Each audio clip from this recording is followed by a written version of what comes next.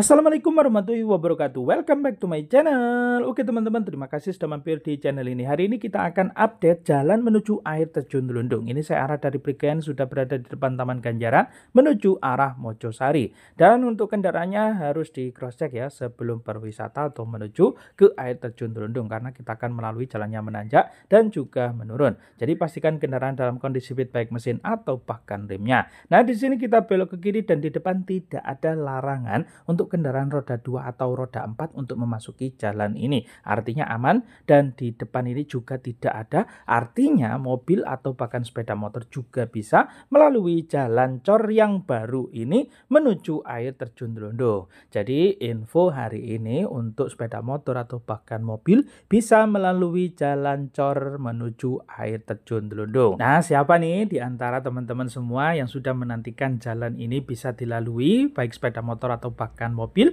bisa komen di kolom komentar. Dan siapa di antara teman-teman yang sudah melalui jalan baru ini juga bisa berbagi pengalaman di kolom komentar. Selain menginfokan daerah di sekitaran daerah Trawas, saya juga mereviewkan daerah Mojokerto lain seperti Pacet, Mojosari, Gondang, Belanggu. Teman-teman juga bisa menonton secara keseluruhan review dari channel ini membahas mengenai wisata kuliner kafe penginapan di sekitaran daerah Mojokerto di playlist wisata dan tempat nongkrong Mojokerto. Tetap tetapi saya sedang memfokuskan bukan hanya Mojokerto, empat daerah lain yaitu Sidoarjo, Batu Malang, dan juga Pasuruan. Jadi totalnya ada lima daerah Mojokerto terlebih lagi yaitu Pacet Trawas, Sidoarjo, Pasuruan, Batu Malang. Jadi teman-teman bisa mempelajari keseluruhan review mengenai wisata kafe kuliner penginapan di setiap daerah yang sudah saya sebutkan di masing-masing daerah. Seperti teman-teman mencari daerah Pasuruan, berarti menontonnya di playlist wisata dan tempat nongkrong Pasuruan. Begitupun daerah daerah Mojokerto di playlist wisata dan tempat nongkrong Mojokerto. Barangkali teman-teman ingin request di antara lima daerah tersebut